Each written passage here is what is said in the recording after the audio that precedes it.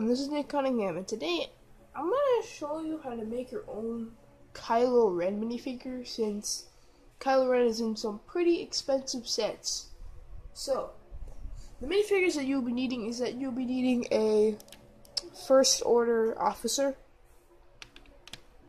You're gonna need any kind of cape, um, any kind of minifigure with the cape, so I'm just gonna use Darth Revan for right now.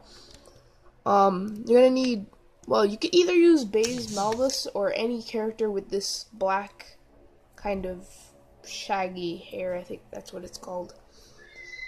And you're gonna be needing a rebel trooper with this like angry face kind of. And then you're gonna be needing one lightsaber hilt.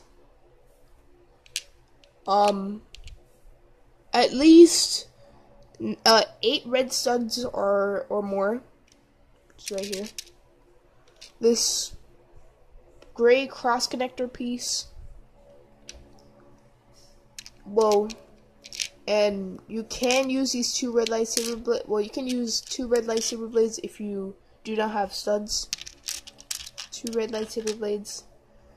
And you're going to be needing these um, missile bolts.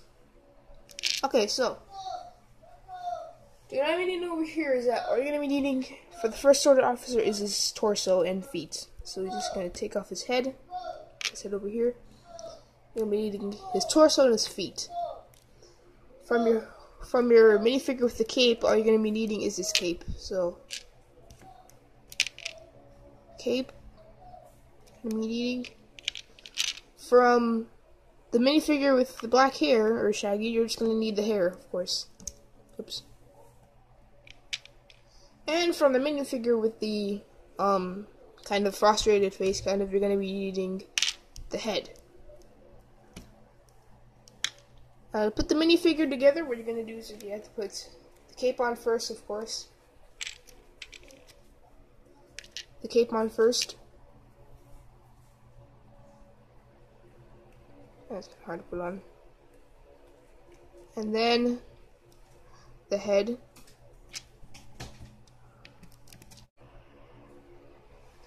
And you're to be putting on the uh, black hair on. And there you have your Kylo Ren.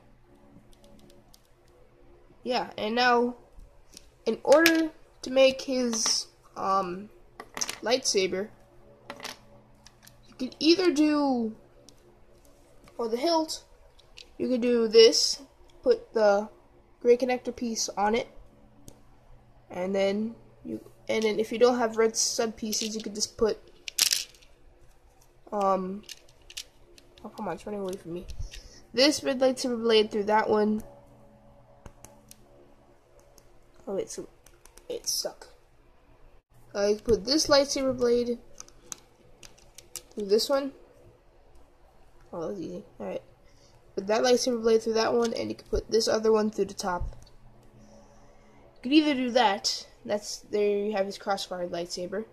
But if you do have a whole bunch of red um stud pieces, to make it look like his crossguard saber unstable, to make it more realistic in your stop motions or whatever, or just for show, you're just gonna stack up um about eight or nine red stud pieces, tran uh, transparent on the top to make because it's gonna look, make it look like it's unstable. You can either use eight or nine red stud pieces, or you can put more if you want to.